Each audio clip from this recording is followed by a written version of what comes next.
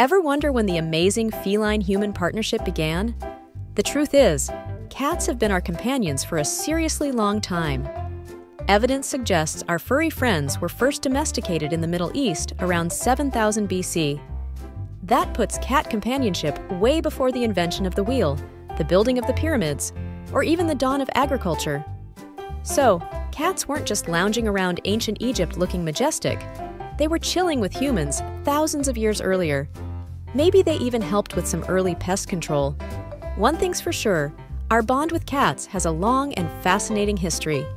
So, next time you cuddle your kitty, remember, you're part of an epic friendship that stretches back for thousands of years.